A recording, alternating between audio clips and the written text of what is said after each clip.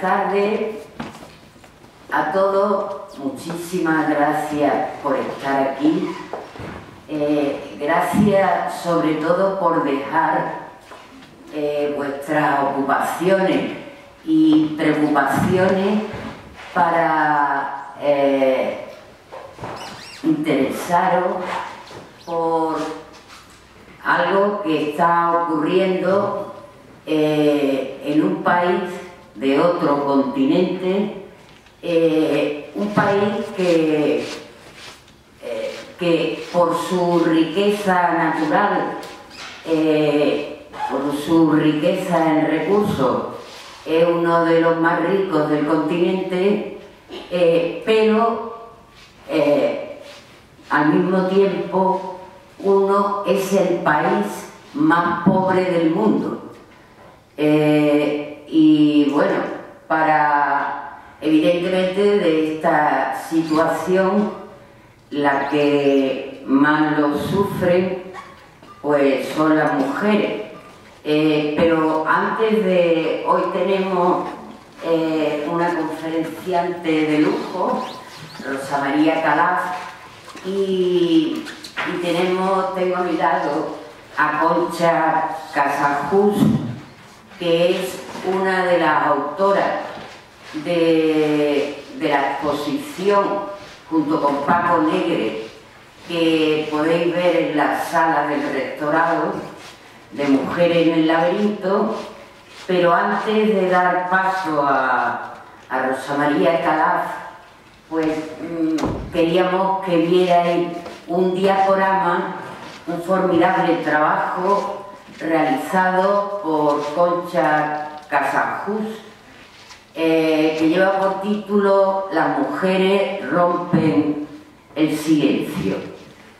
Eh, sin más, os dejo con el diaporama y luego volvemos a... ya le daremos paso a él. Que después de sufrir violaciones, eh, violaciones muy agresivas, son capaces de contarlo, ¿no? Por eso se llama las mujeres que rompen el silencio. Lo cuentan por primera vez en la radio y gracias a eso, bueno, pues es una manera de empezar a enfrentarse al problema. Simplemente voy a poner el diaporama y luego pasamos a, a que está en la exposición, y luego pasamos a escuchar a María Rosa que tenemos muchas ganas. Tantas mujeres y niñas en la zona este de la República del Congo. Eh, para, si queréis, eh, yo para reflexionar y denunciar esta situación, ella misma lo decía, para eh, lanzar respuestas, identificar dónde, dónde están los culpables, ¿no? Eh, y qué podríamos hacer. contamos con la presencia, como he dicho antes, de la veterana periodista eh, Rosa María Calaf.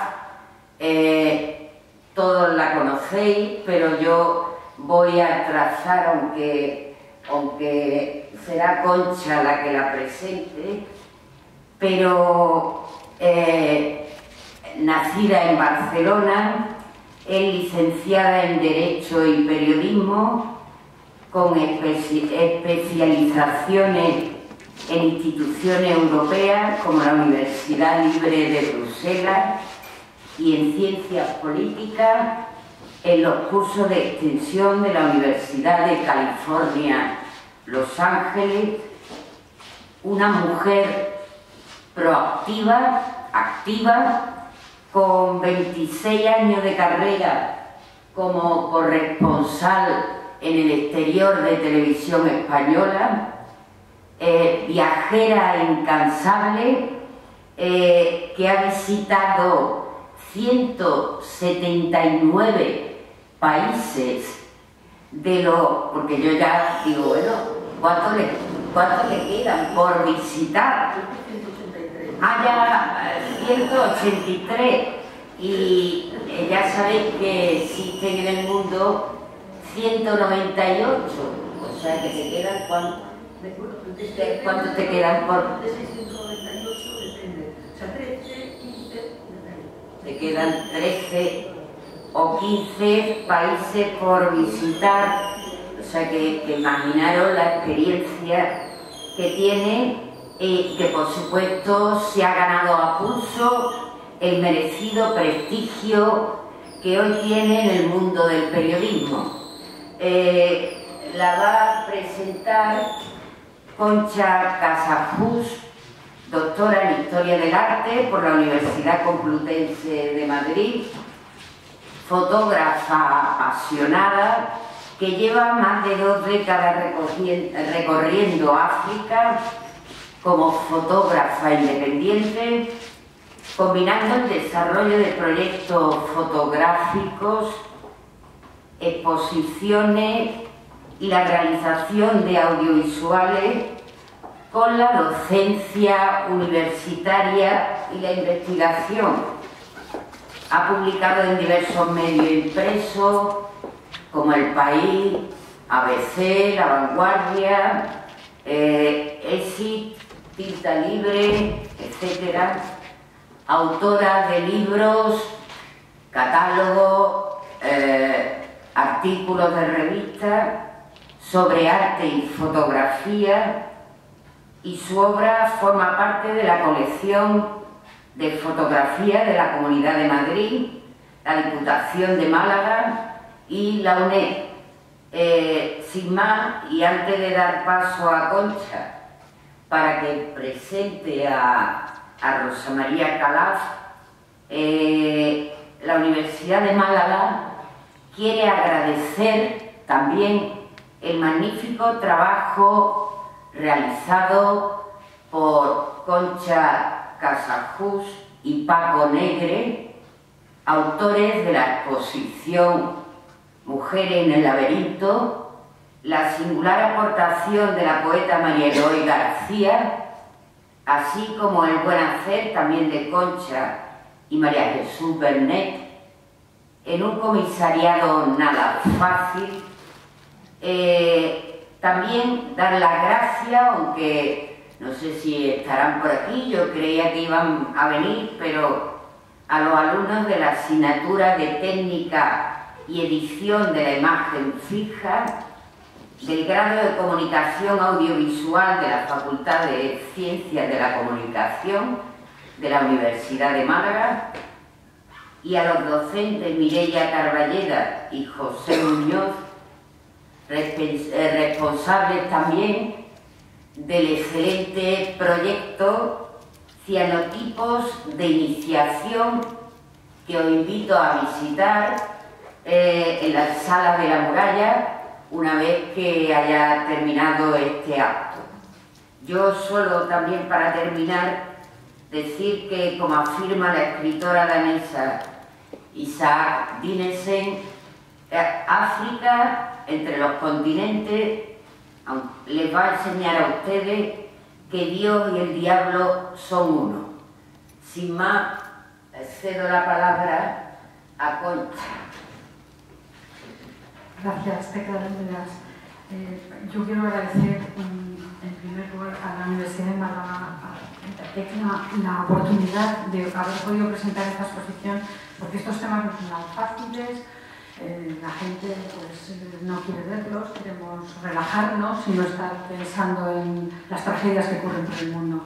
Entonces yo creo que ha sido muy importante el apoyo, el apoyo de, todo el equipo más de, la Universidad de Málaga. Sin ellos no hubiera sido posible esta exposición y la confianza que han depositado en nosotros. Pero yo paso a, presentar a María Rosa Calaz porque yo creo que el proyecto y la exposición y las explicaciones están en el catálogo, yo creo que y, luego nos quedamos nosotros si nos queréis preguntar, pero es el momento de Rosa María Cara. Eh, yo creo que esta presentación, para mí, es como un modelo, es un modelo a seguir por muchas cosas. Es decir, yo creo que es de las primeras mujeres españolas que han llegado eh, por sus méritos, por su propio esfuerzo, por su persistencia, ¿no?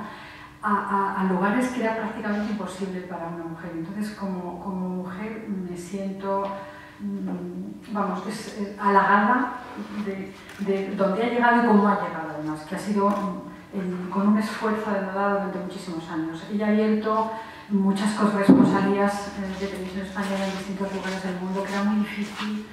Mm, ha, sido, ha estado en programas mm, internacionales y entonces me parece importantísimo que esté aquí. Yo creo que en el, no sé, pongo a lo mejor un poco, desde que, desde que tengo uso de razón, es que es como alguien que, que me acompaña, ¿no? que me acompaña cuando pones la televisión. Y, pero bueno, eso puede ser sentimental, pero yo creo que el grado de compromiso que ella ha tenido siempre con, con estas causas, las causas mm, que no queremos ver, las causas olvidadas, los silencios a veces periodísticos, mm, haciendo un periodismo un periodismo riguroso, un, un periodismo comprometido. ¿no? Entonces ya no es que me sienta mm, admirada como mujer, sino me siento también muy admirada como periodista. ¿no? Es decir, y todavía sigue, y todavía sigue removiendo conciencias, y su voz y su palabra incansable llega hasta, hasta los lugares más recónditos. Yo creo que eh, María Rosa hay que darte las gracias, hay que darte las gracias por estar allí, haber estado antes que nadie, haber estado en la brecha, haber estado con esa sonrisa, haber estado en la calle hablando con todo el mundo, que sigues igual, o sea, hoy comentábamos, decíamos, pero bueno, es que no se cansa nunca, ¿no? Porque después de comer, pues todo el mundo dice, vamos a reposar un poco. No, no, yo me voy a los museos porque tengo que... Entonces, eh, os, quiero transmitir mi admiración y mi respeto, porque creo que además debe acompañar con mucha información y con, poniendo sentido a, todo lo que estamos haciendo nosotros, ¿no? que es dirigirnos a otros países e intentar dar voz ¿no? a personas que, que, no las tienen ¿no? y que deberían de tenerlas. Con esto, gracias. A continuación, yo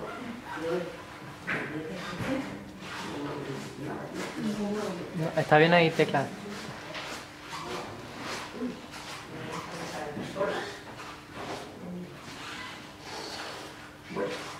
Bueno, buenas tardes.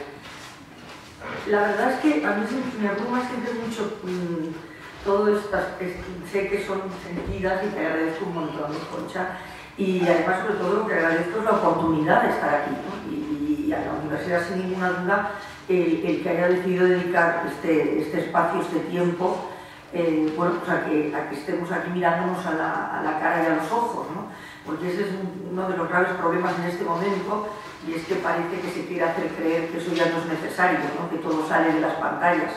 Y eso pues yo creo que es un, grave error. Las pantallas son extremadamente útiles, sobre todo si se utilizan bien, pero, pero en fin, donde esté el contacto personal, pues eh, nada, nada puede sustituir eso. Y eso pasa también, evidentemente, por, la información ¿no? y por lo que acabamos de ver. Eh, eh, esto y esta exposición no sería así si Conchas y Paco no hubieran estado hablando con esas personas. ¿no? Eh, te pueden mandar fotos por el móvil, ¿no? pero no, no, no, absolutamente no, no es lo mismo. Es una gran privilegiada y lo digo siempre porque es verdad que siempre pues, uno se resalta que efectivamente si es la primera reportera de calle, eh, de televisión, etcétera, etcétera, en este país, pues sí, pero realmente todo esto tuvo un componente eh, también de, buena suerte, ¿no? O sea, yo creo que nadie te regala nada, el esfuerzo es, necesario y todos lo sabemos, pero creo que también hay una serie de parámetros que están ahí y que, bueno, pues unas personas tenemos la suerte de, nacer en ellos y otros no. Y yo siempre digo que todo lo que he podido hacer lo, he hecho gracias a la familia en la que nací y eso pues obviamente no tiene ningún mérito. Bueno, en fin, si creyera en la reencarnación a lo mejor sí, pero como no lo veo muy claro eso, pues realmente creo que, realmente fue pues, puro azar, ¿no? Y entonces el, el lugar, las personas con las que el entorno en el que nacen las personas pues, que te rodean, el tipo de, colegio, pues yo pude ir a un colegio, estamos hablando de los años 50, yo nací en el 45, o sea que tengo 71 años, y, bueno, pues fui a un colegio mixto, ¿eh? estamos hablando de la España de los años 50, imaginaos, ¿no?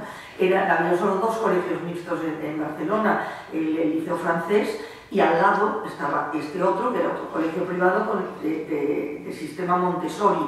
Eh, bueno, pues el que a mis padres me llevaran ahí, el que cuando tenía 13 años, insisto, años 50, pues ya me empezaron a enviar a estudiar al extranjero, o sea, primero a Francia, los veranos, después con 17 años a Estados Unidos, Es decir, todo eso significa que, bueno, que, evidentemente tuve la suerte de nacer en ese entorno en el que había unas posibilidades materiales, pero sobre todo había unas mentalidades ¿no?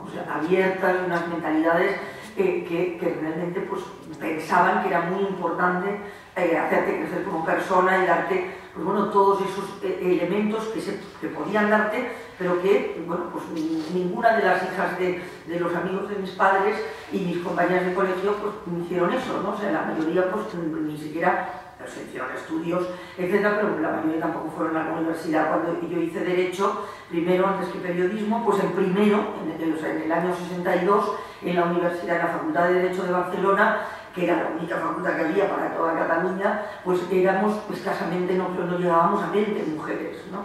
Eh, es decir, que todo eso eh, es verdad que bueno, pues me costó avanzar ahí, a mí como a todas las demás y las que me precedieron. O sea que eh, todavía lo tuvieron más difícil, eh, es decir, que hubo un esfuerzo, pero también ya digo, yo fui muy afortunada de, salir ya pues, con una serie de, activos. ¿no?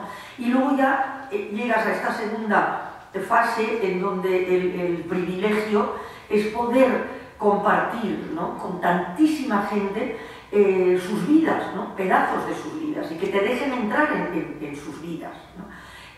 bueno, e-, esa es otra gran, esta es otra gran fortuna que te la da, pues, evidentemente, esa, esa posibilidad de, primero eh, haber viajado pues, para formarte y, después pues, poder seguir viajando eh, para seguir formándote, porque eso es lo, magnífico de esta profesión del, del, periodismo, que desde que empiezas hasta que terminas el día, todos los días aprendes cosas, ¿no? y que realmente sobre todo lo que aprendes, y eso es lo fundamental y lo que creo que de todas estas charlas siempre intento mucho, sobre todo cuando las hago no cinco personas ya adultas, aquí no creo que a nadie le tenga que decir esto que voy a decir ahora porque todo el mundo lo tiene claro, pero sobre todo a muchas cosas con niños en colegios y para los estudiantes de la ESO, ¿no? porque creo que hay, fin, cuanto antes empiece a tratar de crear sentido crítico mejor, ¿no? y, y, un poco es esa idea de que no hay que rechazar nunca lo diferente, ¿no? porque es precisamente de lo que es distinto de lo que aprendemos, en lo que es igual no aprendemos nada. ¿no? Y, entonces el compartir la diversidad eh, bueno, pues es una riqueza eh, extraordinaria. Y dentro de esa diversidad eh, bueno, pues está todo esto que, acabamos de ver. ¿no? Y, y, de estas mujeres que les suceden estas cosas terribles, o sea, que no podemos ni llegar a imaginar. ¿no? porque no son una, ni dos, ni diez, ni veinte, o sea, es decir, son miles. ¿no? Y que están pasando, está pasando todos los días, está pasando ahora mientras estamos hablando aquí, ¿no?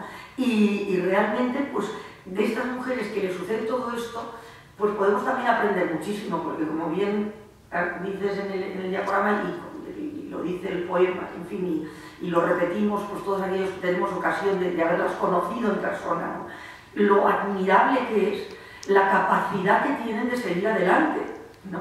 porque sobre todo en unos entornos como los nuestros, ¿no? en que no paramos de quejarnos y en que todo nos parece siempre espantoso y que todo, en fin, es como que es siempre lo peor de lo peor.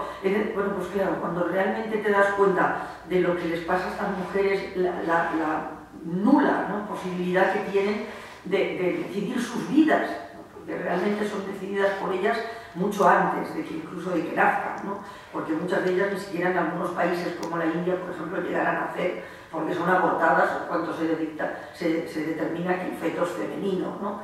Eh, es decir, que es una, unas luchas diarias, minuto a minuto, eh, etc. Y que sin embargo, eh, bueno, pues ahí están y ahí siguen para adelante, pues realmente creo que nosotras, y por eso, por eso lo cuento y, por eso enlazo con lo que decías, de cuando se me agradece el que bueno, pues siempre me haya preocupado de la, de la, de la del género, de la violencia de género, etc. No solo de eso, sino de los abusos de los derechos humanos en general, pero evidentemente las, las más perjudicadas eh, pues son siempre las, las, mujeres, pues que siempre haya intentado hacer eso y que lo siga eh, haciendo ahora. ¿no? Es que creo que es absolutamente una obligación, porque realmente, pues precisamente aquellas ¿no? y aquellos que tenemos la, la, oportunidad, eh, de tener espacios, micrófonos, de haber podido viajar, de haberlo podido ver, somos los, los que tenemos que contarlo ¿no? y tenemos que hacer llegar estas, estas realidades.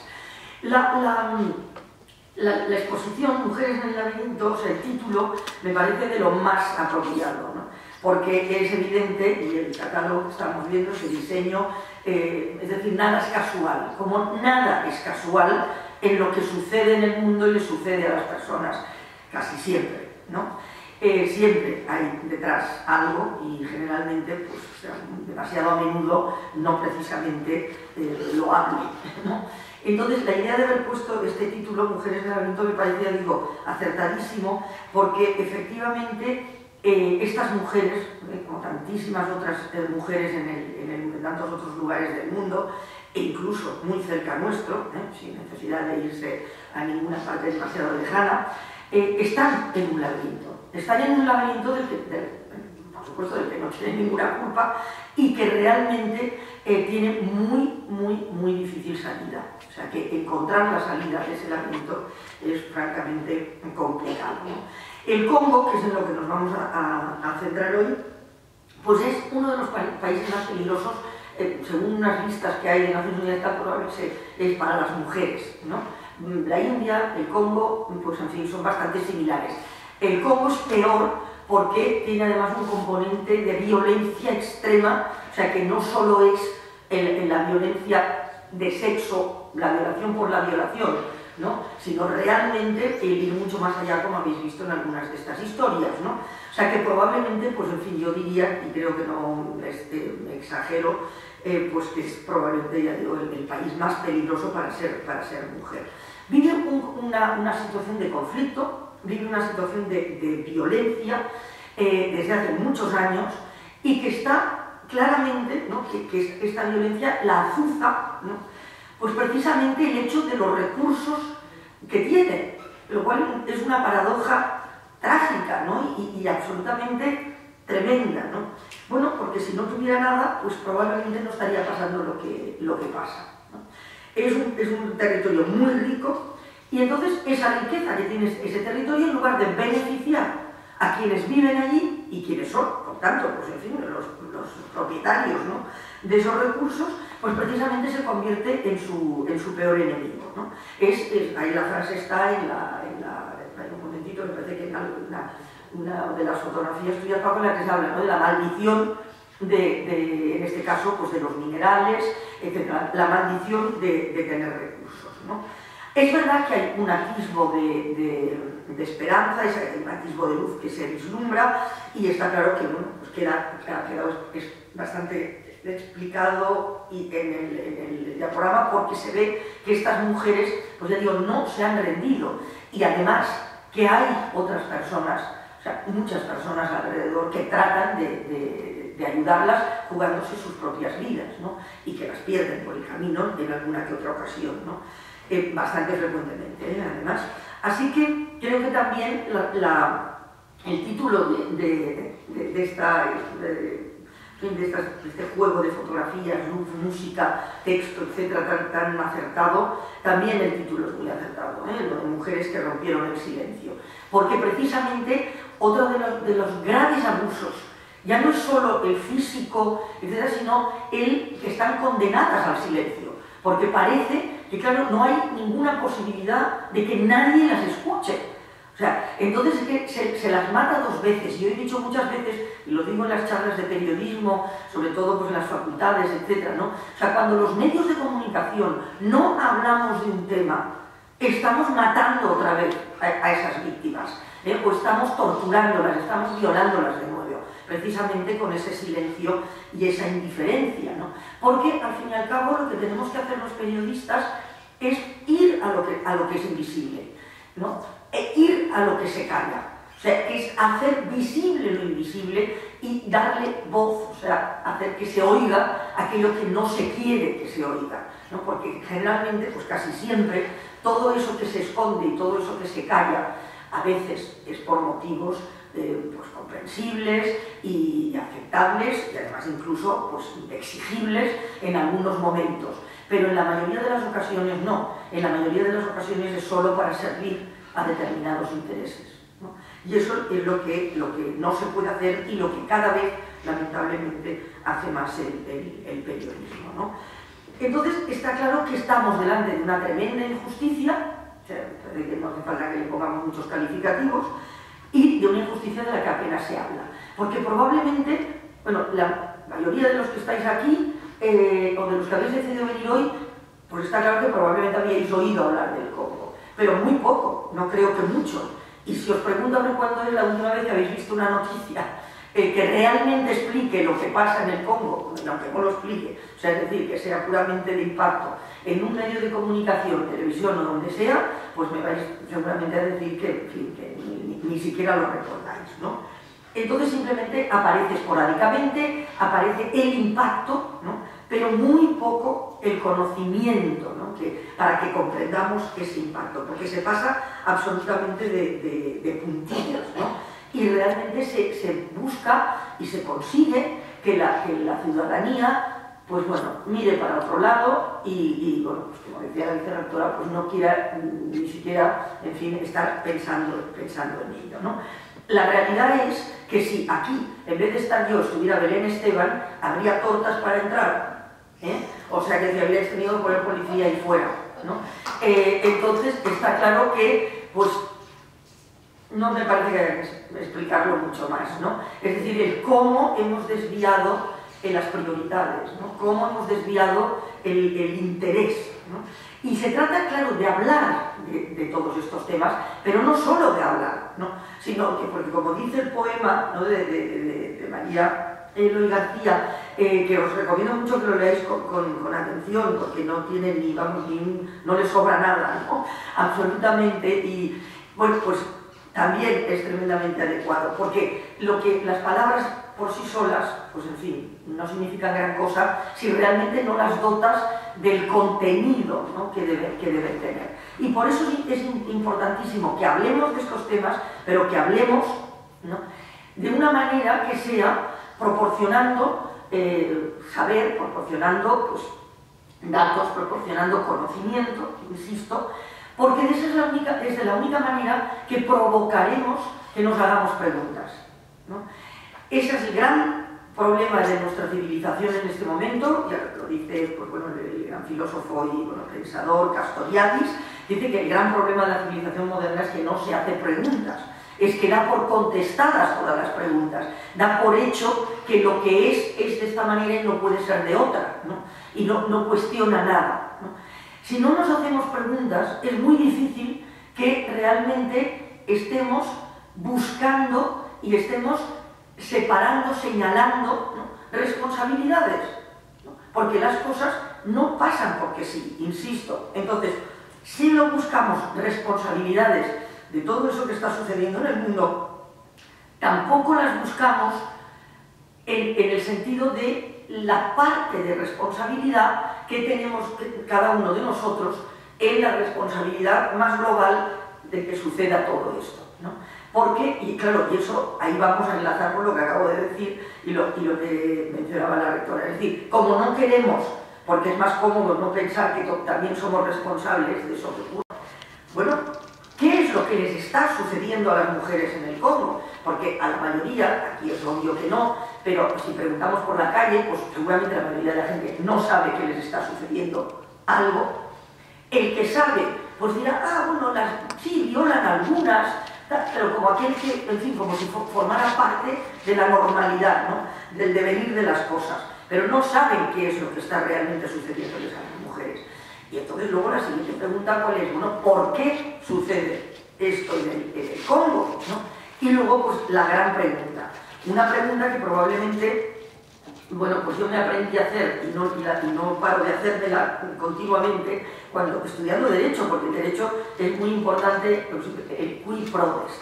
¿Qué es eso? ¿A quién beneficia eso que sucede? Porque cuando uno busca y encuentra a quién le beneficia, sea lo que sea, un delito, eh, ya digo, una, actuación social, eh, es decir, cualquier tipo de situación a la que nos enfrentemos, que no entendamos muy bien, empecemos por preguntar a quién beneficia eso y cuando veamos a quién le beneficia, que normalmente casi nunca es al bien común, ni a la mayoría, tirando de ese hilo vamos a ver por qué sucede, o sea, quién está detrás, eh, es decir, qué es lo que está y qué es lo que está pasando realmente. El Congo, bueno, pues es un, a, las, a, respuestas llegaremos al, al final. ¿eh? El, el, Congo es un país, como sabéis, africano, grande, 70 millones de personas, con mm, varias religión fundamentalmente cristiana, católica, pero también hay islam, pero realmente ahí el tema religioso no se ha utilizado todavía como, como pretexto ¿no? para en fin, enfrentamientos o violencias, etc., que se suele usar muy, muy habitualmente porque mm, bueno, pues la religión es mm, algo que, eh, como no es bastante irracional, es muy fácilmente manipulable, ¿no? O sea, es muy fácil eh, ponerlo en blanco y negro, ¿no? Estás conmigo o estás contra mí. Eh, entonces eso, bueno, pues una, la construcción del mundo que tenemos alrededor lo estamos viendo continuamente, ¿no? Hay que buscar enemigos y buscar un enemigo, bajo un paraguas de otra religión, pues es, es, una de las cosas más sencillas, ¿no?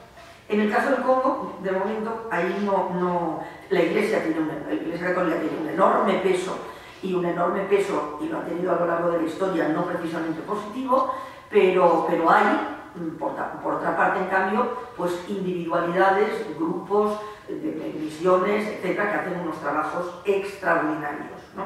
Así que, bueno, está un poco, mezclado, un poco mezclado. El Congo ha vivido en guerra en las últimas décadas, eh, ha, tenido, ha habido dos grandes guerras, no se sabe porque los datos eh, son siempre muy poco fiables, pero se habla siempre entre 5 y 6 millones de, muertos, por lucha directa, enfrentamientos directos, pero también por las consecuencias de, de hambrunas, de, por supuesto, pues, eh, enfermedades, eh, fin, etc. ¿no? O sea que eh, hay claramente pues, una situación de caos. No solo es que haya eh, dentro fuerzas internas ¿no? que pelean, es que en determinados momentos ha llegado a haber hasta seis y nueve países eh, involucrados de alguna manera en, la pelea, ¿no? Y todo el mundo, claro, barriendo para sus, para sus eh, intereses, ¿no? Eh, es decir, desde Angola, Zimbabue, Namibia, Chad, Libia, Sudán, posteriormente Ruanda, Uganda, es decir, que ahí todo el mundo, en fin, está tratando de ver qué es lo que, qué es lo que saca, ¿no? Y luego, dentro del propio país, pues hay un montón, se calculan más o menos unas 20, ¿no? eh, facciones eh, armadas, por supuesto, diferentes. ¿no?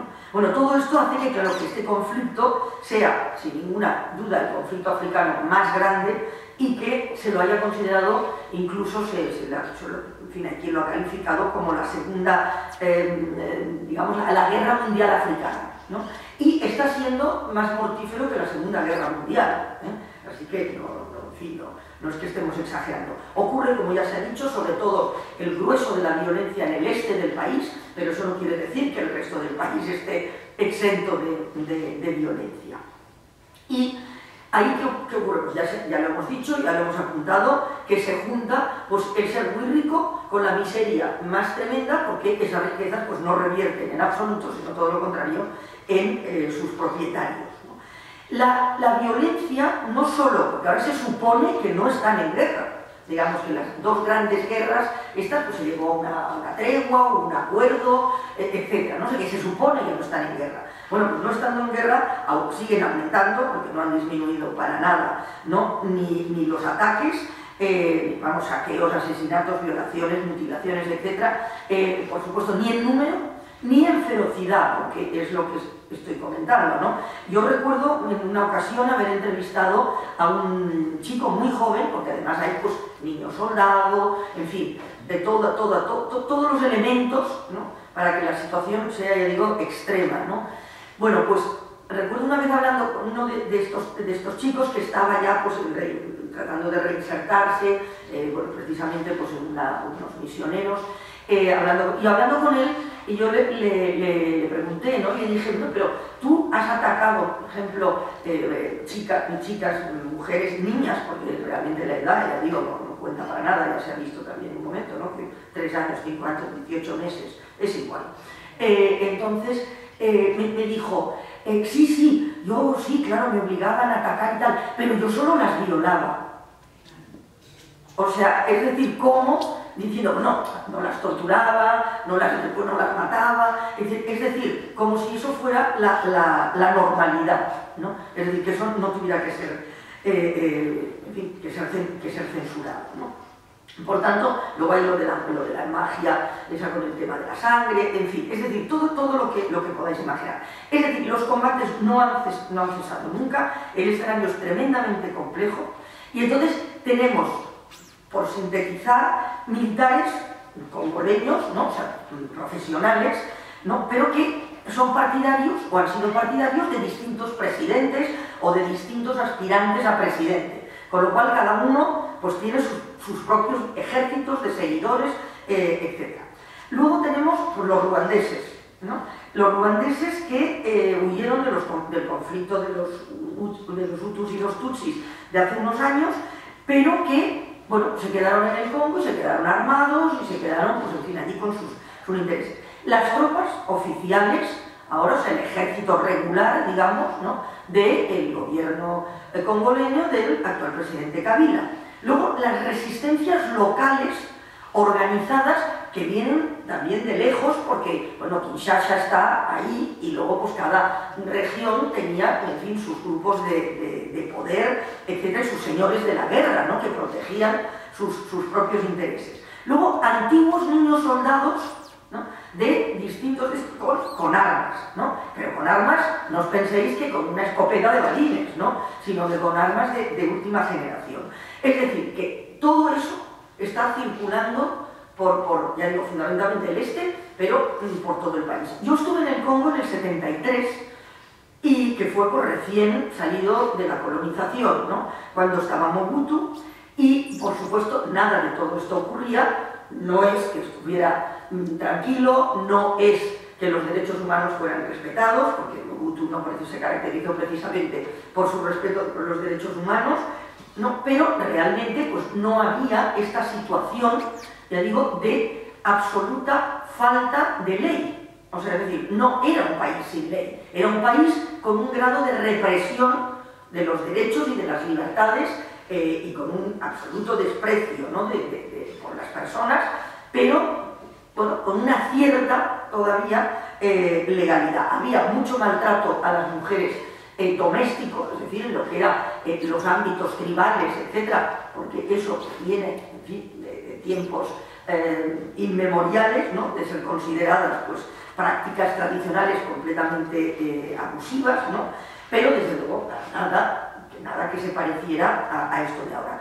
El viaje que yo hice en coche desde aquí hasta Sudáfrica en el año 73-74, estuve más de un año, ¿no? y hice todo, todo África, 60 y pico mil kilómetros, etc. Y atravesé totalmente el, Congo, que entonces se llamaba Zaire, eh, del oeste al este, ¿no? y vamos norte-sur, porque entré por arriba por la República Centroafricana y, lo, y crucé y salí por Ruanda y, y Burundi. ¿no? Bueno, eso ahora sería completamente imposible. Lo cuento porque eh, también debe hacernos reflexionar el hecho de que en este mundo que somos todos tan listos y que progresamos tanto, ¿no? y que la ciencia lo resuelve tantas cosas y la tecnología eh, nos transporta en medio segundo a todas partes y estamos enterados de, lo que dice en tweet, eh, pues en fin, Trump todas las mañanas cuando se levanta, pues resulta que ese mundo no ha sido capaz de mantener un mundo cohesión y de crear, ¿no? de mantener un mundo que fuera capaz de avanzar, ¿no? no solo en distancia, de acortar las distancias, porque tenemos aviones, tenemos satélites y tenemos mucha tecnología, sino en avanzar, en acortar las diferencias, que es donde había que haber hecho el, el énfasis. ¿no? O sea, es decir, hemos hecho un mundo muy globalizado, pero cada vez más pequeño y cada vez donde realmente es más difícil moverse, donde cada vez es más difícil que la gente eh, pueda defender eh, sus derechos y que nosotros desde nuestra burbuja de donde todavía, pues en tenemos unas posibilidades ¿no? de hablar y, tenemos unos grados de libertad aceptables, sin ser perfectos, podamos prácticamente ya casi ni hacer nada por ellos, ¿no? porque cada vez se va limitando, se va limitando más. ¿no? Entonces, la, violación, ya se ha dicho también aquí, y todos estos, estos abusos atroces se ha convertido en un arma de guerra. sea, eso ya se utilizó también en los Balcanes, cuando la guerra de Bosnia, eh, Serbia y tal fue uno de los reyes, se utilizó en Ruanda. Es decir, que siempre en las guerras evidentemente ha habido abusos, ¿no? Y, violar, pues bueno, era algo que sucedía, pero sucedía, bueno, pues esporádicamente, en determinadas circunstancias muy extremas y con determinadas eh, personas muy concretas, ¿no? Pero no era algo que fuera planteado y ejercido y perpetrado con un absoluto diseño de utilizarlo como un arma más para destruir al, enemigo. Y eso es lo que se está, lo que se está haciendo ahora. Eh, realmente esta epidemia de violaciones empezó, empezó a finales de los 90 y eh, eh, bueno, pues ahí ha ido siguiendo, ¿no? o sea que, ahí, lo, ahí, lo, tenemos y a finales de los 90 en el Congo, en, Ruanda, en, esto, antes por supuesto, ¿no? Pero digamos que es un disertivo, ¿qué pretende? Bueno, pues entonces vamos a la segunda fase, que es las mujeres, es decir, ¿por qué las mujeres? Bueno, pues porque las mujeres siempre son el, eslabón más vulnerable, ¿no? Y siempre se ha, se ha, dicho y siempre se dice que, bueno, porque claro, si, si ya ser pobre, ¿no? En, fin, en la mayor parte del mundo es terrible porque la pobreza lleva aparejada pues la nula posibilidad de defender tus derechos porque ni tienes acceso a la educación, ni a la salud, o sea, ni a nada de aquello que te va a permitir ¿no? Eh, ejercer o sea, como, como, como persona, ¿no? Eh, bueno, pues además de pobre eres mujer, bueno, pues todavía peor, ¿no? porque todavía los derechos son más abusados. Entonces, imaginad lo que es en, en, el, en, el, Congo el hecho, y por eso esta exposición, que es lo que hablábamos, eh, tiene, tiene importancia la manera como ha sido presentada, porque no se trata de dar grandes impactos visuales, que es lo que suele hacer la televisión, ¿no? Sacar una pierna por aquí y la otra por allá, o sea, una mujer destrozada en un suelo, etcétera, sino realmente dar las miradas de estas personas, ¿no? O sea, no hace falta ver eso, ya solo viendo ¿no? cómo, miran, eh, qué, tipo de actitud tienen en el momento en que las dejas a solas con ellas mismas. Porque comentábamos antes con Concha que cuando hablas con ellas, sobre todo estas que consiguen ¿no? romper el, silencio, agradecen tanto ¿no? todas esas personas que te interesas y que ven que te interesas de verdad, no solo para hacer la foto y marcharte corriendo o el plano para meterlo en el telediario, ¿no? sino que realmente que te importa lo que les ha pasado, que realmente es como que reviven, ¿no? lo que decía al principio, o sea, e-, esa sensación de muerte en vida, bueno, pues se recupera la atención de que haya personas que se preocupen por lo que les sucede, pero cuando las dejas solas, o sea, y cuando les pones la cámara, las dejas solas con ellas mismas, sale esa mirada. Y no sé si habéis visto ya la exposición, pero si no, vedla, y ya lo habéis visto aquí en la presentación, que son esas, esas miradas de absoluta desesperanza, ¿no? de, bueno, de, toda esa historia que, está detrás.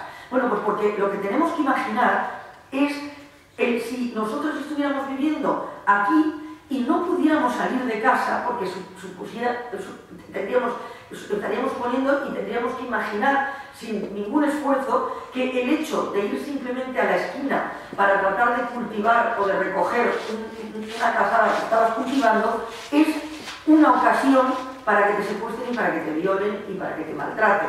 ¿no? Eh, que no puedes ir a buscar agua, que no puedes ir a lavar, que no puedes hacer nada de lo que es tu vida diaria, que significa la, vida de la comunidad, ¿no? la vida, el día a día de la comunidad. Pero no solo eso, si dices, bueno, me encierro en casa, no, es que eso tampoco te protege, porque resulta que estás en casa y entonces vienen a la casa y, ocurre lo mismo, te arrancan de, de, tu casa. Entonces dices, no, y en mi casa, a mis hijos, mis hijas no, les, no las dejo que salgan, da igual, porque también entran en tu casa y se las llevan, ¿no? Entonces tú imagínate lo que es, que no es un hecho aislado, sino que es algo que sucede, eh, es al revés no solo no es un hecho aislado, sino que lo común es que haya sucedido esto. Lo raro es que no haya sucedido. ¿no? Bueno, entonces, eso es lo, que, lo, que, no se debe olvidar nunca, ¿no? Porque es un vivir cada día en la violencia permanente y además, no solo la violencia de que voy a perder la vida, me va a caer una bomba en la cabeza cuando hay un conflicto, ¿no? sino que además me van a arrebatar la dignidad, como persona. O sea que voy a ser tratada pues, como, como, como un animal. El hacer eso, ¿qué significa? Bueno, pues significa que el tejido social se destruye. Entonces, ¿qué manera más fácil y barata de destruir al enemigo? No necesitas gran armamento, ni necesitas grandes estrategias, ni ni siquiera mucha gente. ¿no? Porque con que vayas a un, a poblado, violes a todas las mujeres, a todas las niñas, mates dos o tres, mates a tres o cuatro de los hombres que te puedan eh, eh, eh, plantar cara, ese poblado ha desaparecido. O sea, porque esas mujeres no pueden volver a estar, están totalmente estigmatizadas, habéis visto que la mayoría decían que sus maridos las habían abandonado, que la mayoría de las propias familias, el caso este que hay de, la, de esa que el padre la ha recogido, eso es muy raro. Es muy raro, porque normalmente las familias no quieren saber nada, o sea que son dobles víctimas. ¿eh? O sea, que han sufrido la violencia y luego además, o sea, son rechazadas, ¿no? Como si las culpables eh, fueran ellas, ¿no? Entonces, bueno, ¿qué ocurre? Que la mujer eh, en África, como en todas partes, pero en fin, ese sería motivo de otro debate, es la columna vertebral de la construcción social. ¿no? Las comunidades, las sociedades funcionan por el trabajo de las, de las mujeres. O sea, el, más básico de eh, cuidar de los niños, cuidar de los mayores, en, esos lugares, cultivar, ir a buscar el agua, insisto, es decir, todo el día a día depende totalmente de las, de las mujeres. De, tradiciones, de, para bien y para mal, pero ahí, está. Entonces, si destruyes a, las, a, las, mujeres, o sea, lo que es el, segmento femenino de la población, que además, como sabemos, la mitad o más ¿no? en algunos lugares, has destruido esa comunidad. ¿no? Y eso es lo que está, lo que está eh, ocurriendo en el Congo. O sea, es decir, que el país está totalmente mm, incapaz ¿no? de, realmente avanzar y, frenar esa violencia que ya digo está mental. ¿Por qué? Bueno, pues porque el tejido social se ha roto.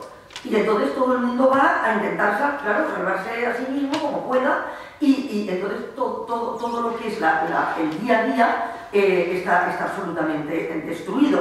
lógicamente, como digo, no solo es el daño físico que causan ¿no? todas estas actividades y estas violencias, sino el, daño psicológico, sin ninguna duda, a estas mujeres, imaginaos a las niñas, ¿eh? y el daño social que causa.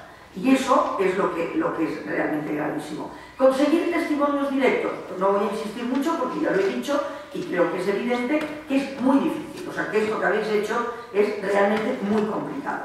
Porque está claro, está claro que es esencial tener testimonios directos, es esencial que su voz se escuche, pero hay que tratar de hacerlo con mucho cuidado, con mucho respeto, eh, o sea, con, con, un gran afecto ¿no? y con una gran determinación y lamentablemente cuando van periodistas por ahí, un porcentaje altísimo, o gente que vaya a preguntar, y no hacen esto con, delicadeza, etcétera, etcétera. Con lo cual, ya no solo a ellas les cuesta, como a cualquiera de nosotras nos costaría, y sabemos lo que ocurre aquí con las violaciones, ¿no? con toda la estructura que tenemos y todo lo que cuesta que una mujer violada vaya a denunciar. ¿no? O sea que ahora se ha mejorado bastante eso, pero todavía, pues imaginamos allí donde saben que además la policía no les va a hacer caso, etcétera, etcétera.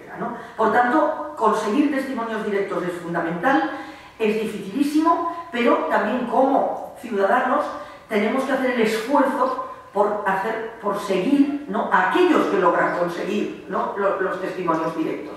Es decir, tratar de ver y de ayudar a que se, a que se consigan. Entonces, detrás de todo esto, a las mujeres les pasa todo eso, y entonces aquí tenemos pues, a, la, a la. ¿no? Y Naciones Unidas, que, bueno, que, muy bien, que ha dicho que efectivamente el Congo es la capital de la violación del mundo. ¿no? Es decir, eh, reconoce que la violación se utiliza como base de poder, ¿no? porque se, utiliza para destruir a, a los demás. ¿no? Muy bien.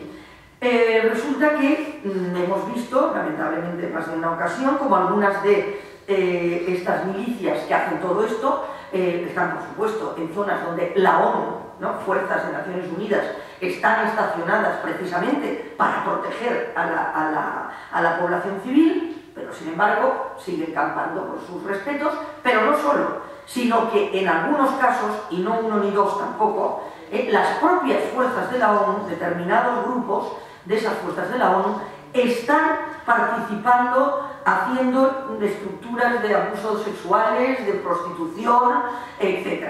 No hacen un maltrato, o sea, eh, en fin, un abuso eh, violento hasta los extremos de, en fin, de las milicias y las facciones y las fuerzas regulares congolesas, etc., pero sí que utilizan a las mujeres, etcétera, etcétera, a esas mujeres las que están supuestas, eh, supuestamente ahí para proteger. ¿no?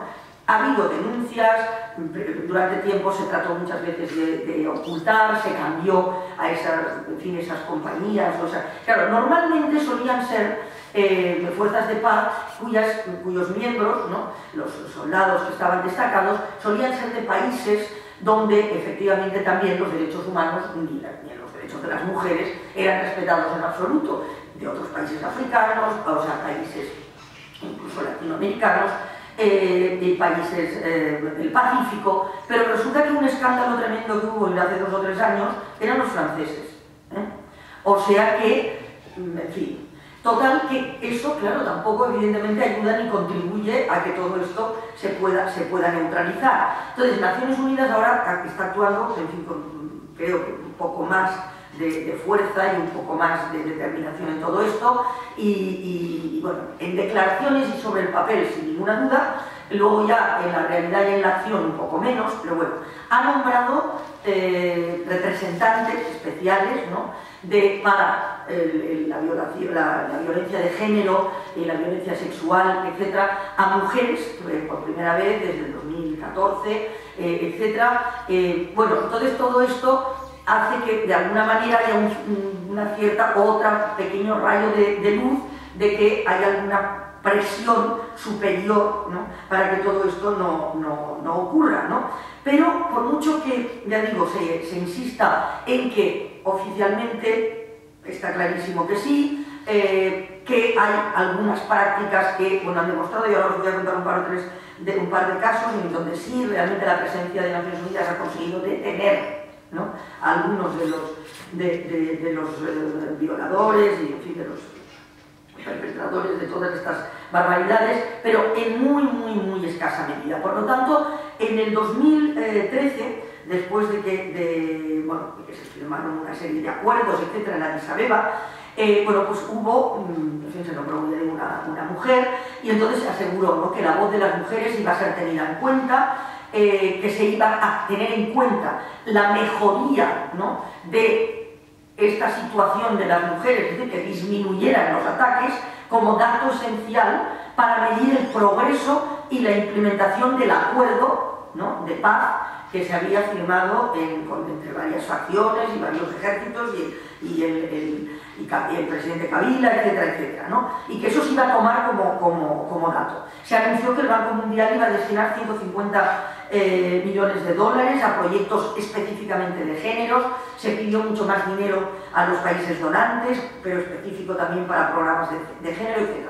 Pero, por ejemplo, seis meses después, hubo unos, unos compañeros periodistas del Guardian que fueron a hacer unos, unos, y por supuesto allí no había cambiado nada, las milicias estas seguían rampando y la rabia y la frustración de, los habitantes de la zona era tremenda. ¿no? Luego en el 2014 el propio gobierno eh, congoleño de Kabila nombró una representante también, una mujer, Janine Mabunda, como asesora presidencial para la erradicación de la violencia sexual. Eh, lo curioso de esto es que la nombró, evidentemente por presiones externas, pero fue definitivo prácticamente, según me comentaban algunos compañeros que siguieron el tema muy de cerca, el hecho de una cumbre en la que participó Angelina Jolie. En fin, de eso también se podría hacer otro debate, ¿no? A ver, yo no, no discuto que Angelina Jolie tenga una, voluntad real y genuina de ayudar, etcétera, etcétera. Pero lo que es tremendo, ¿no? Es que tengamos que echar mano de personajes, o sea, pues de este tipo para que se, para que se realmente nombre una asesora presidencial en el gobierno eh, de, Kabila, ¿no? O sea, después de años de, que las organizaciones los activistas y todo el mundo esté, eh, todo el mundo que eh, sabe el tema y está sobre el tema, esté tratando de presionar, ¿no? En fin, lo cuento a nivel anecdótico, pero, pero que creo que también merece mm, reflexión, ¿no? Bueno, las madres siguen sin poder dormir tratando de proteger a sus niñas de, de, la violación y de que no se las lleven por la noche. Me comentaban, por ejemplo, algunos amigos también y compañeros que cuando las épocas de lluvia son tremendas y tú dices, ¿y por qué la lluvia? no? Porque, en fin, pues parece al revés, ¿no? Dices, hombre, pues puestos a violar, no, pues, pues ya, ya pues, en fin, si está diluviando, pues parece que esperas a que pare de llover, ¿no? Estoy haciendo evidentemente humor negro. Em, pues ¿por qué? Pues porque la lluvia sobre los tejados de, de hojalata hace mucho ruido y con el ruido no pueden escuchar si se acercan. O sea que es ya el refinamiento ¿no? del, horror ¿no? y, de, las prácticas eh, tremendas. ¿no? Entonces hubo, eh, hace, pues, en el 2017, eh, el, 2 de marzo, bueno, pues, en fin, un, episodio ¿no? en una de las, de, las, de las aldeas que se llama Cabamu y que fue precisamente con esto, porque, justo lo de la, lo de la lluvia, ¿no? Y desde el 2013 que se firmó el acuerdo, en esa, en esa región de esa, aldea han sido secuestradas 49 niñas, niñas muy pequeñas, ¿eh? hasta una de 18 meses, que es la que os decía. ¿eh? Bueno, pues en esa zona ha habido dos detenciones, ¿eh? que, así, que han sido mm, hechas por las, los grupos de Naciones Unidas que, están ahí. Pero, sin embargo, bueno, pues dos que eran, fin, soldados rasos, ¿no? es decir, que no, no era nadie, vamos, no era, no era ningún, ningún, eh, ningún mando. Otra, otra, otra mm, aldea de, también de una zona relativamente cercana a Bucabo, Minova, pues también más de 100 mujeres, también. también. Solo dos personas em, juzgadas. En otra, en donde ha habido, en una, otra región en la que había como más de 387, todo esto estoy hablando desde el 2013, ¿eh? 387 eh, y en zonas muy pequeñas, ¿eh? no estoy hablando de una región de que, digamos, yo que sea Andalucía, no, no, o sea, me estoy refiriendo a zonas pues, que podría ser, yo que sé, pues, eh, un, pueblo de alrededor de Málaga y el otro que está al lado, o sea, no, no una cosa, bueno, pues también ahí no ha habido ninguna detención, ¿no? Entonces, Naciones Unidas creó unas unidades policiales especiales que fueran móviles, porque claro, lo que ocurría era que además esta gente cuando le sucede esto, claro, ni siquiera pueden ir a denunciar, porque para ir a la, ciudad grande que tengan cercana, donde pueda haber una comisaría o algo, pues ni tienen dinero, ni tienen transportes, ni tienen nada. Entonces, bueno, pues Naciones Unidas hizo ahí pues, eh, esas unidades que están, por lo que me cuentan, ¿no? trabajando bastante bien y que una de, estas unidades eh, consiguió detener al líder de uno de estos eh, grupos rebeldes, ¿no? Ha, conseguido detenerlo hace relativamente poco, han conseguido también que en algunos casos hayan pagado alguna indemnización, ¿no? como si eso pudiera ser indemnizable, ¿no? Pero claro, me comentaba un compañero al que le pregunté, me dijo, bueno, sí, una indemnización que les da para comprar un, cerrojo o un candado para poner en la puerta, ¿no? Que fíjate de lo que les sirve, ¿no? O sea que realmente nada, o sea que los recursos que tienen estas unidades especiales eh, son muy escasos y después realmente lo grave es la corrupción absolutamente endémica eh, que, hay en la policía y, en el propio, en el propio ejército. Eh, entonces cuando esta representante de Kabila fue a esta región, hace un poco, hace unos, unos, meses, bueno, pues no, no paró en ni un minuto a hablar con ninguna de las víctimas. O sea, de, nada. Fue a Bukavu, que es la ciudad grande, también hizo un acto oficial, estuvo ahí inaugurando una especie de, también de tribunales mm, especiales, pres, o sea, tal cual, no sé qué, o sea, tampoco habló con nadie de, los, de las mujeres a las que les había pasado nada, ni de las organizaciones que tratan de ayudarlas, ni de las casas de acogida que hay, de ONGs, nada, ¿no? Y mm, además insistió en lo que es la campaña oficial actual. Y ahora voy a ir terminando ya porque eh, son como 25 para que podamos abrir. eh, turno de preguntas. Entonces, eh, insistió en el mensaje oficial. El mensaje oficial ahora es que se ha reducido en un 50% los ataques mm, sexuales y las violaciones.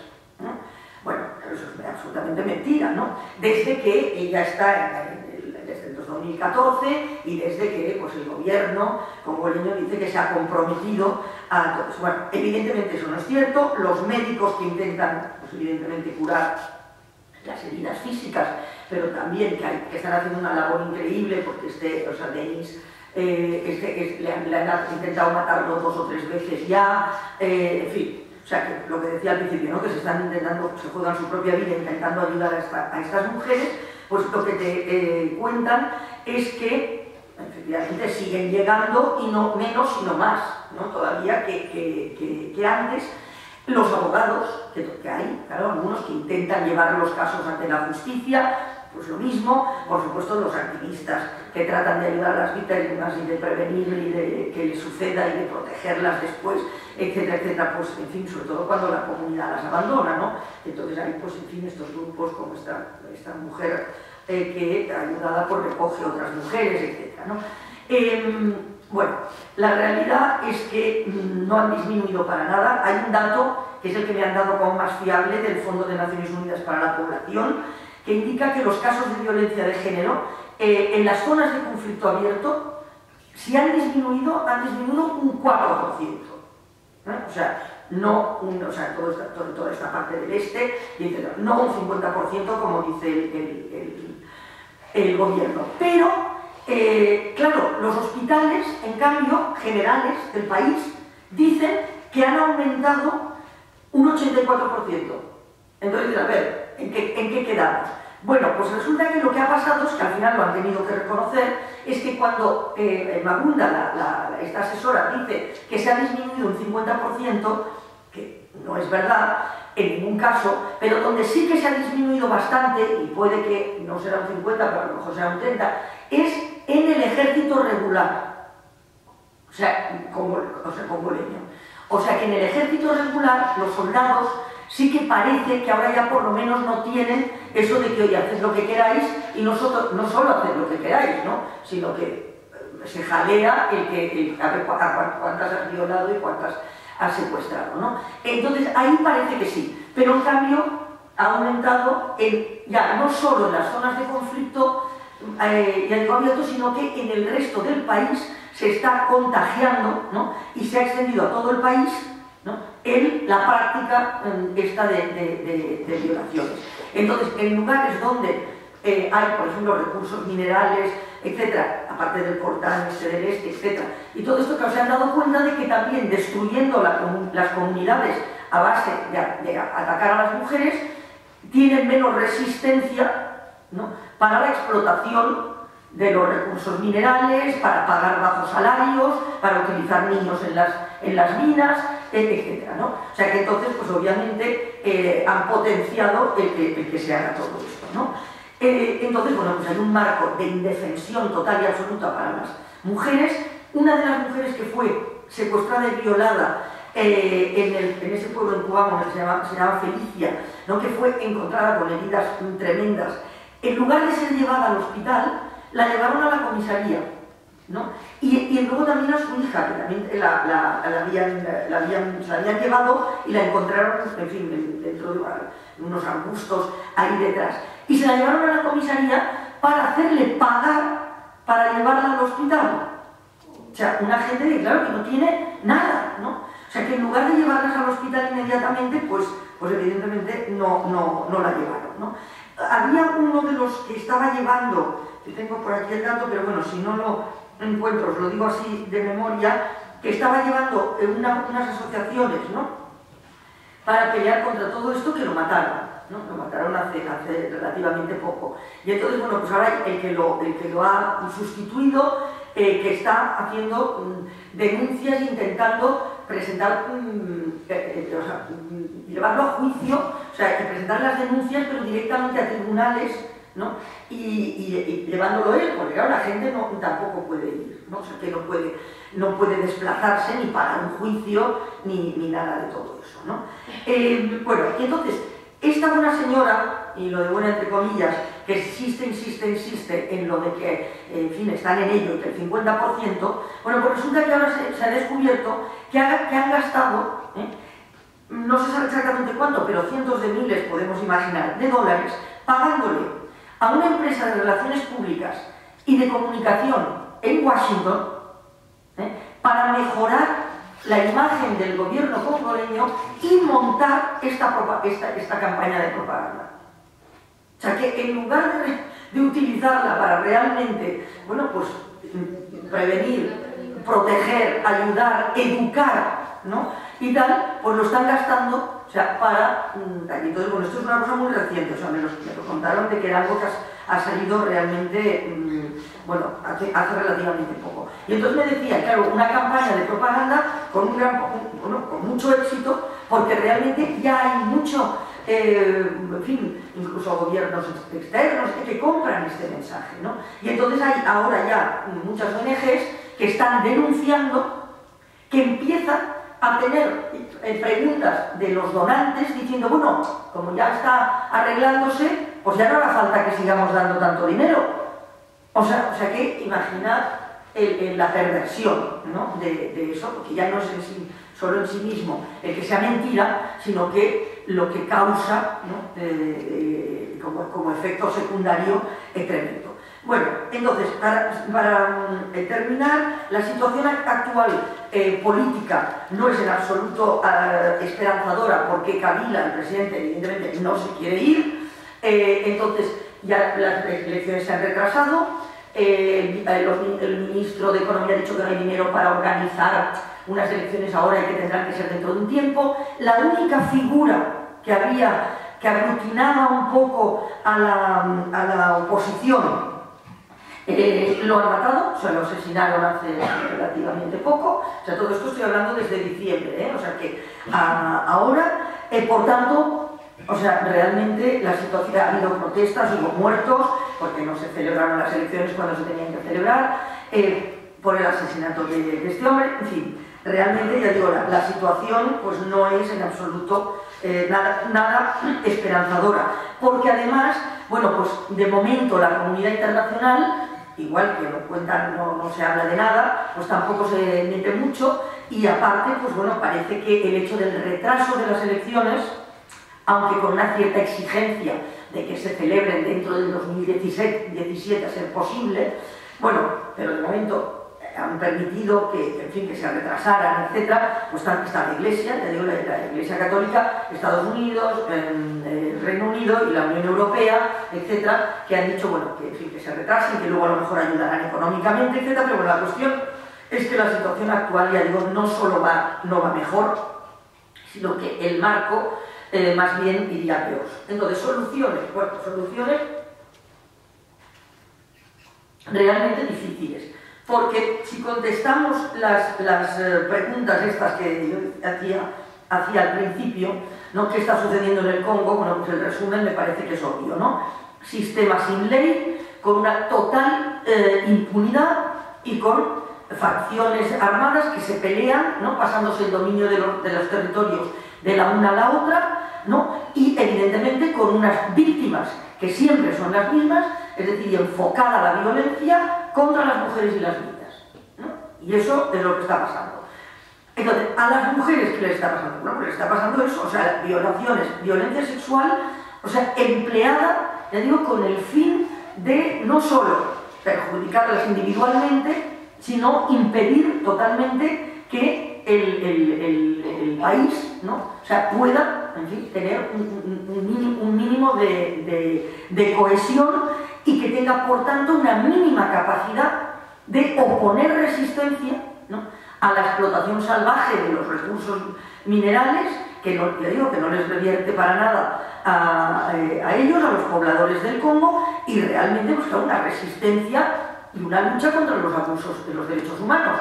Entonces, como están, pues bueno, ya digo, teniendo que preocuparse de que no las violen a ella y a sus hijas y no las, no las eh, maltraten, pues realmente todo lo demás queda en un segundo plano. Entonces, ¿por qué sucede esto? Bueno, pues está claro, o sea, sucede porque es la manera de poder controlar ¿no? precisamente todas estas riquezas que están ahí, ¿no? Y, bueno, pues arrebatárselas a, a sus legítimos dueños, ¿no? Y entonces llegamos pues, a, la, a la gran pregunta, ¿no? ¿A quién le beneficia esto? Que realmente esté ocurriendo eso y que esos minerales se puedan extraer de ahí sin ningún tipo de control, ya digo, a precios ridículos porque, en fin, se, no, hay nadie que tenga ningún derecho a nada, eh, etcétera, etcétera. ¿no? Eh, bueno, pues está claro que en hay unos primeros beneficiarios que son las autoridades locales eh, corruptas ¿no? y que de todo eso, pues evidentemente sacan un, provecho personal. Por supuesto a los explotadores ¿no? de, de esos recursos minerales sean los empresarios, o sean, en fin, los que tienen las maquinarias, etcétera, etcétera, sean los pequeños, porque eso es lo tremendo, ¿no? O sea que en cuanto uno empieza a tener un cierto poder económico para poder, eh, en fin, subyugar a los que tiene alrededor, pues en lugar de ayudarlo lo hace, ¿no? O sea que hay una gran, una gran eh, presencia de, mm, corrupción a, a, pequeña, a de falta total de escrúpulos, de tráfico de, personas y de niños y de tal, en lo que son los entornos ¿no? de, las propias, de las propias comunidades. Al mismo tiempo que, claro, la, absoluta falta de, escrúpulos de los explotadores de la, las grandes compañías, ¿no? que son evidentemente pues, los grandes beneficiados ¿no? De que bueno, pues puedan tener todos esos materiales que se necesitan, sobre todo, como sabéis, eh, para la, para la, tecnología, ¿no? para los móviles, para toda, todo eso, eh, y, bueno, y todo el progreso en general, ¿no? y que, bueno, pues ahí lo, ahí lo tienen, es el principal productor y que pues, se puede conseguir eh, pues muy fácilmente. Esas compañías, como sabemos, y esto no es solo con el Congo, el gran problema que tenemos en este momento con el tema de los derechos humanos y, en fin, y de, la, distribución justa ¿no? de, los recursos y de la riqueza del, del planeta, está en que hay esas grandes corporaciones económicas que tienen mucho más poder que los estados. O sea, y que en este momento, pues, en fin, nadie les pide cuentas, ¿no? Y que, y que si se las piden, pues o sobornan, eh, compran eh, o matan, ¿eh? O sea, quiere decir que no se andan con, muchas historias, según qué lugares. Entonces, bueno, pues eso está así, y eso empezó ya a finales de los 80 y se ha ido eh, consolidando. O sea, no es que antes el mundo todo fuera todo mundo fuera buenísimo y todo fuera estupendo, no, pero es que ahora la amplitud, la dimensión que está alcanzando esta explotación, ¿no? y la posibilidad que, que se tiene precisamente por los avances tecnológicos, ¿no? de, de, maquinarias y de transporte, eh, en fin, de fabricación, todo eso, pues hace que, claro, el, impacto social eh, en las personas sea mucho mayor. O sea que hemos quitado del centro de la atención a las personas. Y la persona ya no cuenta, cuenta pues, en fin, el, dinero, el enriquecimiento, etc. Y, y, y bueno, pues evidentemente construir un, un, mundo justo así es bastante complicado. ¿no? Y luego, claro, entonces, y por eso decía yo al principio lo de las preguntas. ¿no? Eh, bueno, todo esto sabemos qué pasa, qué les pasa, por qué pasa, eh, a quién beneficia. Pero es que parte de los beneficiados también somos nosotros. ¿eh? Por tanto, también tenemos una responsabilidad, porque está claro que si compramos ese mensaje del hiperconsumismo, de que eso quiere decir que tenemos que, porque sabemos que los móviles están hechos, vamos a no tener móviles, vamos a parar, no, vamos a exigir, o sea, que los móviles y, en fin, todo lo que es el, el, pues igual que la producción del chocolate, o sea, es decir, todo, pues igual que en su día la, la, las, las, zapatillas de deportes o las pelotas del mundial que las hacían niños en, en, en Bangladesh, pues vamos a exigir que no, que las hagan personas que cobren salarios dignos y que, y que, bueno, pues tengan unas posibilidades de vida eh, digna y, que sus derechos sean respetados, ¿no? Entonces lo que no se puede es mirar hacia otro lado. Eh, y, bueno, que nos dé igual. Claro, ¿qué ocurre? Que es muy complicado, porque por ejemplo yo he intentado, vamos, de hecho estoy en la lista, tener un, móvil que garantiza que solo hay uno, solo hay una empresa que está, que se llama eh, Fair Mobile, me parece que es, el, el eh, bueno, pues un móvil que no utiliza ningún tipo de, materiales de estos que, están mm, materiales de sangre, ¿no? por, por utilizarlo de diamante, el, paralelismo con los diamantes de sangre. Eh, y, pero claro, están, están trabajando en esto desde hace años. Ahora parece que se ha conseguido uno que tiene bastantes prestaciones y llegar a, tener... Pero bueno, tampoco necesitamos que tenga todo lo que tienen todos estos, que, en realidad la mitad de las cosas que tienen no tres cuartos ni las usas, ¿no? O sea, ni tenemos que cambiárnoslo cada, cada año y medio, ni nada de todo eso. O sea, es decir, que hay que poner eso en su justa medida. Y luego, ahora parece que ya se ha conseguido uno, claro, es más caro, evidentemente, pero se produce muy poquito y hay una lista que te pones ahí en la lista y yo, bueno, yo estoy, creo que a mí me va a tocar como en seis meses o algo así. Eh, bueno, pero claro, hay que tratar de potenciar, si más gente pidiera eso, pues es lo, la oferta y la demanda, ¿no? O sea, que decirte que los precios bajarían y que, y que se trataría de hacer las, las cosas bien, ¿no? Eh, entonces, bueno, pues la responsabilidad personal está, está ahí, ¿no? Entonces, esa es parte de la solución, sin ninguna duda, ¿no? Eh, además de la, de la violencia eh, física directa, ¿no? que significa todo eso, y de esa, ya digo, ruptura de, de, de la posibilidad de construcción eh, social que tienen, pues claro, ¿qué pasa? No hay educación cuando estás en una situación como esta, no hay acceso a la salud, ¿no? Y por tanto, todo, todo, todo, absolutamente se tambalea o sea, y, todo se derrumba y la posibilidad de que, millones de personas en el mundo, ya digo, tengan una, vida digna, pues en fin, se, borra. ¿no?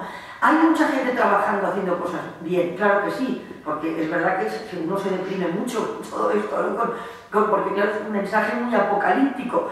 Y entonces dices, bueno, en fin, ¿qué, podemos hacer? Bueno, para empezar, saberlo. ¿no?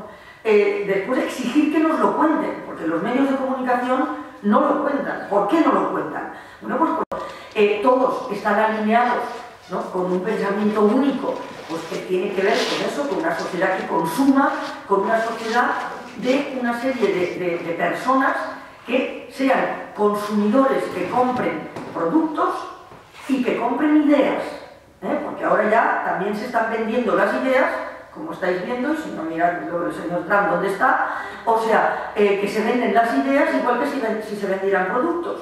¿no? Entonces, una sociedad de consumidores que compren productos e ideas en lugar de una sociedad de ciudadanos, ¿no? de ciudadanos que piensen y de ciudadanos que reflexionen y de ciudadanos que, exijan eh, que, se, respeten sus, derechos, ¿no? y, y que respetando los suyos trabajen para que se respeten los de los demás. ¿no? Entonces, realmente es el, o sea, no, no, puede haber o sea, una solución si no somos todos conscientes de que somos cosa de un grupo o de un país o de, poca, o de una serie de gente, no, o sea, todo el mundo tiene que ver. Ahora, evidentemente, el grado de responsabilidad pues no es el mismo. Claro, no es el mismo el, pues el grado de una persona que de buena fe pues dice, bueno, pues yo me compro esto de teléfono y lo, y, lo hago funcionar tanto y lo necesito porque evidentemente si no, no puedo trabajar, si no, no puedo, que el, el señor que está, pues en fin, en el, en el gobierno del Congo y que sabe perfectamente, o el que está en el Consejo de Administración de la empresa que, que está explotando esas minas, ¿no? que los grados de responsabilidad obviamente varían. ¿no? Y está claro que si no hay, por una parte, un compromiso fuerte ¿no? por parte de las autoridades del Congo, que en vez de gastar dinero en campañas de publicidad, lo gasten en campañas de educación y de, y de, control de la, de, la, de la, violencia y de ayuda a, las víctimas. Por supuesto, eh, por si no hay unas empresas, grandes empresas, corporaciones, etcétera, occidentales, gobiernos occidentales, etcétera, que estén totalmente eh, también comprometidos con voluntad de que, eso cambie. ¿no? Bueno, pues si no hay eso, en fin, eh, y unos medios de comunicación que evidentemente cumplan con su función de servicio a la mayoría. Hombre, pues es muy difícil, porque claro, se acaban siendo eh, hechos y comportamientos de grupo, de, pequeña, grupos pequeños, de bueno, pero es igual. O sea, es mejor, la frase esa, es mejor hacer poco ¿no? que no hacer nada, ¿no? y que además sumando unos cuantos pocos, pues a lo mejor se acaba haciendo mucho. Y realmente el, la, el tener conciencia de lo importante que es ¿no? los gestos individuales y los comportamientos individuales eh, de cada uno y que cuando se convierten ¿no? en, en, colectivos, pues es asombroso, ¿no? Hay veces que dices, madre mía, pero ¿cómo se ha conseguido pues, avanzar en esto? ¿no? Bueno, pues se ha conseguido porque ha habido primero un montón de gente una a una que ha pensado que eso había que hacerlo y que después, pues bueno, pues se ha unido y ha intentado trabajar en esa línea, ¿no? Y la verdad, o sea, esa es la, la, la, única, la única posibilidad que hay de construir un mundo mejor, ya no solo para el Congo, ¿no? sino realmente un mundo mejor para todos, incluidos evidentemente nosotros, nosotros mismos. Porque la idea de que este mundo me da igual lo que pasa allí, aquí, en el otro lado, porque mientras yo tenga mi, mi, mi, concito, a mí que no me lo toque y lo demás me da igual, eso es absurdo, porque el mundo es, hay muchos, pero todos están en el mismo. Y entonces todos están vinculados. O sea que realmente es absolutamente insostenible ¿no? el, el mundo tal como está organizado. Entonces está claro que de una manera o de otra, pues eh, eh, eh, si, no, si no le ponemos remedio, es decir, y lo, y lo reconducimos un poco, pues difícilmente nadie va a poder mantener su, su rinconcito, ¿no? Así que mm, realmente creo que mm, esos fuertes intereses corporativos, esa corrupción que realmente no es mm, castigada y no es eh, evitada, en fin, como debería, ser, esa mala práctica periodística hace que pues, los ciudadanos, es decir, que, en fin, que todos nosotros estemos muy indefensos ¿no? y, seamos muy vulnerables, porque realmente tenemos que hacer un sobreesfuerzo para realmente eh, bueno, poder llegar a saber ¿no? qué es lo que pasa y que realmente, pues bueno, cómo puede ser un país sin ley y con unas mujeres sin derechos y que eh, se trata de un feminicidio prácticamente mm, sin paliativos y, que bueno, que esto, pues que sí, que las, violaciones, los abusos más atroces pues se puedan considerar parte del, parte del día a día, eh, pero que ante todo eso lo que no se puede hacer es decir, bueno, mira, es que esto es así y no hay nada que hacer. Pues hay que intentar, hay que intentar hacer algo y hay que intentar que se ponga en el debate político el, hecho de, que hay, mm, bueno, la persona debe ser el principal mm, eh, foco de, interés, ¿no? Y no dejarlo, sino un poco como dice lo del poema, ¿no? de, María, en fin, solo en el, papel y en, las palabras, ¿no? sino que, que pensar que hay que pasar hay que hacer acciones y que, eso pues en fin es una cosa un poco de todos. ¿no? Bueno, pues muchas gracias porque si no no vamos a cenar, mi temo.